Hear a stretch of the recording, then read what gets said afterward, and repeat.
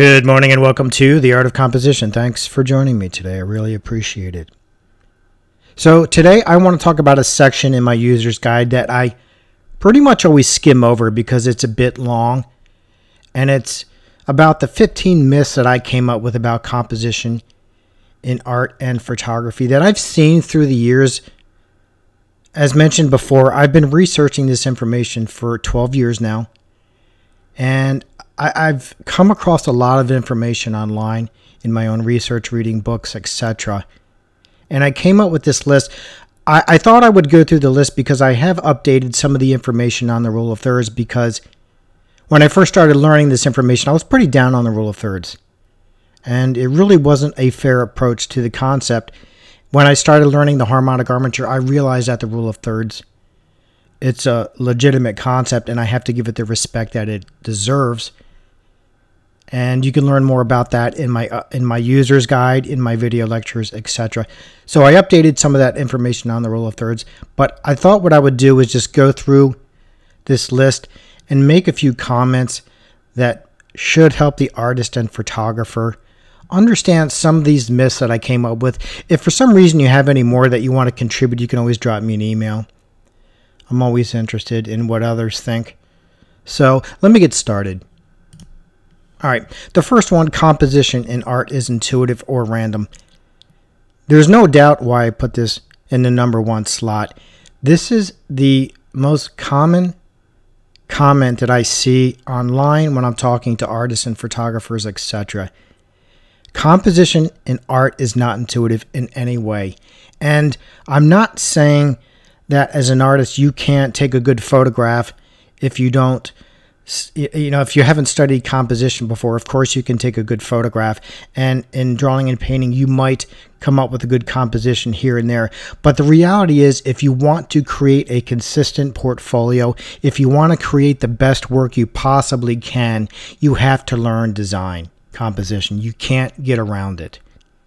And I've talked about the differences between applying composition and drawing and painting as opposed to photography, but the reality is still the same. You have to learn it.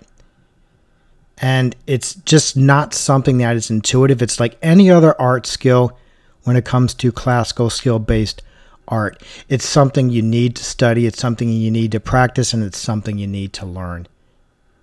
All right. Number two, composition can't be taught. I. This one's interesting to me because it it literally makes no sense.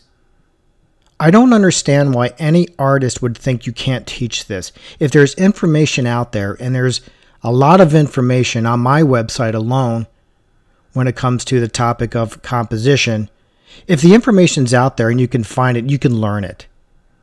It's a, it's an absurd comment. It's it's it doesn't make any sense at all because if you can learn any other skill in art, there's no reason you can't learn composition. And I actually came across this from a photography teacher online that was telling he worked at a college and he was telling his students that it can't be taught. And i uh, my first thought was okay you're not doing your job first of all okay? Because you're, you're telling your students that they can't learn something that is clearly learnable as long as they have the right information. It's doing a disservice to the art community to the photography community and so on. And i and i, I do see this one and this deserved the second spot in my list as well because it's one of those reoccurring themes that I see that tends to go along with the first one. All right, number three, some people are born with the gift of composition while others are not. Again, I see this a lot on photography websites. Nothing could be further from the truth. no, nobody is born with the gift of composition. Now, there are photographers or, uh, even artists that draw and paint that can compose a little bit better than somebody else, but the trained artist that's trained in composition will always far surpass anybody that's not. Period. Drawing, painting, photography, etc. They're not going to be able an untrained artist is not going to be able to, to compete with a trained, a highly skilled trained artist in the area of composition. So we're, we're not born with this stuff whether it's design or any other art skill you're not born with it you have to learn it and you have to you have to practice you have to study and it, it takes it takes time like anything else worthwhile it takes time Number four, design systems, design grids, and rules in composition kill creativity. Again, this is another common theme I see a lot. Somebody wrote me an email once. They were talking about dynamic symmetry and they were making this statement. It's not a rational statement. Design grids do, do not kill creativity. In fact, they allow you to be more creative. It's the, it's the opposite of this is true. With the harmonic armature, which I recommend every artist and photographer learn when they're starting out learning composition because it's easier than dynamic symmetry, you will you will you will quickly quickly discover that it does not kill creativity. It opens up a, a whole new world when it comes to creating art and you will feel empowered when you have this knowledge.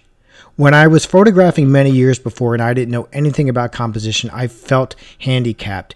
When I learned design and even though I'm a photographer, that knowledge still came into play when I was out shooting. I'm not saying I use design grids when I'm shooting. That's up to the photographer. But what I'm saying is that knowledge is indispensable. It's helped me tremendously to learn how to see. And again, as I said, the application is somewhat different in photography than it is in art, in drawing and painting. But the idea the idea is still the same. A design grid doesn't kill creativity at all. Number five, design systems and design grids make art appear too rigid. Again, this goes along with number four. No, it doesn't. What it does do, it gives the art visual structure. Kenyon Cox talks about this in the book The Classic Point of View. You can download it for free on archive.org. I recommend reading the chapter on design. Mapping out a composition on the canvas or Becoming a visually literate photographer does not make art appear too rigid. Structure does not make it appear too rigid. That's not how this works. All right, number six. Photographers don't need to study design because they shoot on the fly. I shoot on the fly all the time. But as I just mentioned, learning design improved my visual literacy skills, and that's what it's about. You're learning how to see. You're not born with this, you have to learn. number seven. All right, so I, I, made a little bit of changes here, as I said, because this is the next few ones are about the rule of thirds. So let me go through this. The rule of thirds is the best system of design. The rule of thirds is the best system of design for photographers and artists. The rule of thirds is not a system of design. It's it's a it's a derivative of the harmonic armature. It's one concept, and it is a legitimate concept. And you can start out with the rule of thirds. There's nothing wrong with starting with the rule of thirds, but just understand you have to build on it too. So it's not a system, it is a derivative of a system of design. Number eight, the rule of thirds is used everywhere in advertising. It's interesting when whenever I see an article on the rule of thirds, somebody will they'll lay a rule of thirds grid on whatever the art is, whether it's an ad, a Chardin, it doesn't matter. And some things will line up, and that and that's true. That does happen, but it doesn't mean the the skilled artist is going to limit themselves to that one concept. So you really got to be careful about how you analyze art. Number nine, the rule of thirds grid is derived from the golden section rectangle. I'm not exactly sure where this comes from. The only thing I can think of is that because the eyes are close, when it comes in, into photography like a 1.5 compared to a golden section which is a 1.618 and the eyes are relatively close and then if you lay a rule of thirds grid in a 1.5 you know the the eyes tend to be somewhat close but i'm not exactly sure other than that where this comes from i saw this in a photography book and i see it all the time in photography circles but that's simply because the photographer is not trained in design I, I haven't come across any information that talks about the relationship between the two. If I do, I, I will update my information, but as it stands now, I don't I don't fully comprehend where that's coming from. Like I said, other than in photography when you're comparing a 1.5, which is a the most popular format in photography compared to the golden section rectangle, which is 1.618. Number 10, the rule of thirds allows the artist to be creative with their compositions. Like I said, there's nothing wrong with the rule of thirds, but the problem with it is that you're you're very limited into where you can place your subject. And you don't have as much control because you don't have diagonal lines, you don't have additional divisions, you don't have any room to play with that grid unless you understand the harmonic armature. If you understand the harmonic armature, then you can build on that. But if you don't have that knowledge, you definitely can't build on it. And it, it, it locks you into compositions that they all look the same. And if you go online and you look at the rule of thirds, and you look at all the images that are related to the rule of thirds, all the designs, they look very similar, if not identical. You just have to be careful. You can start out with it. Don't lock yourself into this one design concept. Build on it over time, and your work will get more sophisticated and it will improve dramatically in that arena. Number 11, the rule of thirds can be traced back to classical and Renaissance paintings the way the rule of thirds is interpreted interpreted today, when when you look at this stuff online, it can go either way, and and this is why I'm a little bit back and forth on this. Yes, there is a relationship between the rule of thirds and the harmonic armature, and the harmonic armature was used during Renaissance times. But that's basically the connection. The way it's taught today, there really isn't much connection. So you, I, the point being, you just have to understand the history of where the rule of thirds is being derived from, meaning the harmonic armature, and you can connect it that way. But when when you see this information online about the rule of thirds, it always goes back to John Thomas Smith. And I do have a small section in this user's guide on that just to bring it to the surface, but number 11 can go either way.